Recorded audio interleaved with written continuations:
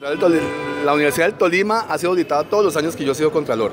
2016, 2017, eh, se han, venido saliendo los hallazgos, ya están adelantándose los procesos de responsabilidad, han avanzado bastante, han llegado funcionarios, ha habido devoluciones de recursos. ¿Qué es importante decirle en este momento?